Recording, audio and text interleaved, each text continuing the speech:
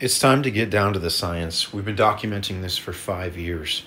And what I thought was to be something of a hoax myself, I was very skeptical of these items. They didn't look right to me. There was things about them that, you know, they looked more modern than most pre-Hispanic pieces that are found. And the dates that we had seen preliminarily come back were older, which didn't make a lot of sense until you start looking at the walls down in South America you look at the walls and the construction, the bottoms of these, the oldest parts of these walls are the highest in terms of technology, and it gets worse over time. And I believe that's exactly what we're seeing with these pieces. It's taken a lot of effort to get a world class laboratory and a world class science team involved to be able to put their names on the line and find out if these pieces are of antiquity or not.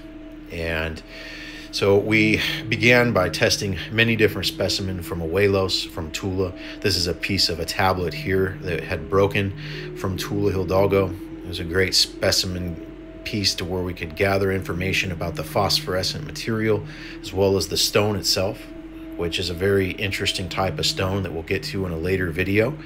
This is probably the most clear evidence to me that these items are of antiquity. However, if you look here, you'll see these black spots. Some of them may be dirt, but others, as you'll see here on a slide that we're going to pull up, they're clearly manganese. And the, the breakdown, when you look in, the manganese is actually adhered as part of the stone. It's not just something that's painted on. And when you really break it down in this type of science with scanning electron microscopes, you'll start to see that these things are are absolutely of antiquity. So between doing 3D scanning and getting every last detail of these pieces understood, we have taken this ring from Tula Hidalgo, which is a colorless image here. And there's manganese deposits on the surface. And we went and we zoomed into these and we broke it down with a scan that'll break down the metal uh, you know, and, and mineral compounds. And as you can see here, this is without the, the manganese. This is with the manganese. And clearly you can see the orange there. This is a, a scan by AI. You can pause and read this.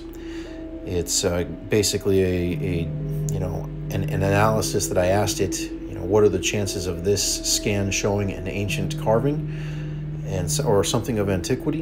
And this is what it said. So we have many more tests. This is just the tip of the iceberg. I wanted to bring each sample and each test into its own video to show you clearly what we're talking about. Look forward to the next one.